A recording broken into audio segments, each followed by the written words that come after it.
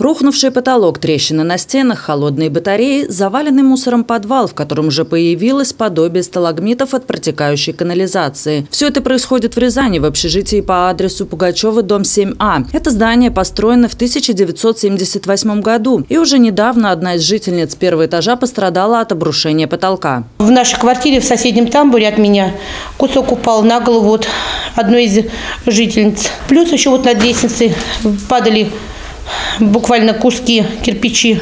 Эту пятиэтажку уже который год затапливает с последнего до первого этажа. Всему виной протекающая крыша. От постоянной влаги страдают не только потолки, но и стены во всем здании. По швам они идут-то. Даже с подъезда видно, когда поднимаешься.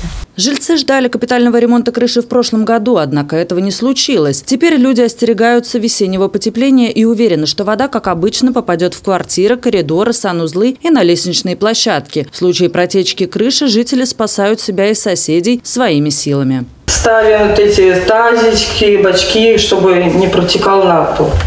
Все равно толку нет. Там, если даже пробовать что-то латать, фрагментарный ремонт ничего не даст. Там добраться на крышу не факт, что люди не провалятся. 2021 год должен стать для местных жителей счастливей. Им пообещали выполнить капитальный ремонт кровли. Даже если этот вопрос решится, жильцы не понимают, кто понесет ответственность за промокшие насквозь здания и разрушенные от влаги стены и потолки. Кроме того, граждан беспокоят инженерные коммуникации, которые сейчас не попадают под капремонт. В частности, происходят регулярные прорывы канализации.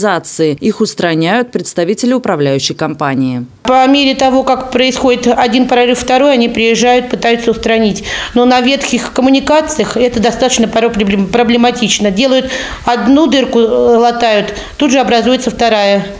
А дыры уже образуются на трубах а, чуть ли не с руку диаметром. Управляющая компания «Теплый дом» взяла это здание на обслуживание полтора года назад. Ситуацию с инженерными коммуникациями прокомментировал руководитель организации Георгий Андреев. Дом проблемный, а, изношенность коммуникации по некоторым позициям достигает 80%. Вот, после контакта с жителями и общением со старшей по дому организация выделила собственные денежные средства для проведения независимой технической экспертизы. Независимая техническая экспертиза в мае 2020 года провела обследование всех коммуникаций на данном доме и признала их непригодны для эксплуатации жилым домом. В управляющей компании сообщили, что заключение экспертизы было отправлено в управление ЖКХ и в Государственную жилищную инспекцию. Инспекция подтвердила данное заключение. Вот, но, к сожалению, пока мы не смогли добиться того, что данный дом попал под программу капитального ремонта в плане инженерных коммуникаций, поэтому пока эксплуатируем то, что есть. Слесаря у нас тут практически в зимний период не уходят. Они либо в подвале, либо бегают по дому, что-то пытаются. Уезжают, опять звоним, то или иной прорыв.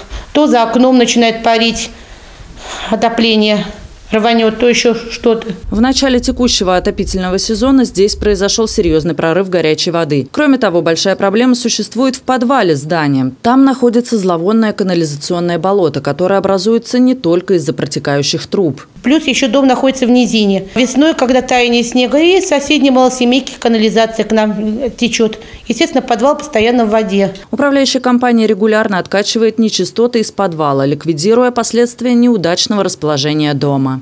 Там проходит тупиковая канализационная ветка, поселок Шлаково расстраивается, строятся новые дома, а канализационные сети не реконструируются. И происходит постоянный засор. Все канализационные стойки с поселка Шлаково стекаются в колодцы возле этого дома. И, соответственно, колодцы заполняются, и все эти массы начинают поступать в подвал данного дома еще больше усиливает износ. Как жильцы, так и управляющая организация сходятся в одном. В доме номер 7 а на улице Пугачева необходимо сделать не только капремонт кровли, но и инженерных коммуникаций. Основные конструкции, по словам руководителя управляющей компании, являются надежными и здание может прослужить долгие годы, если сейчас им заняться. Анна Герцовская, Михаил Лазуткин, телекомпания «Город».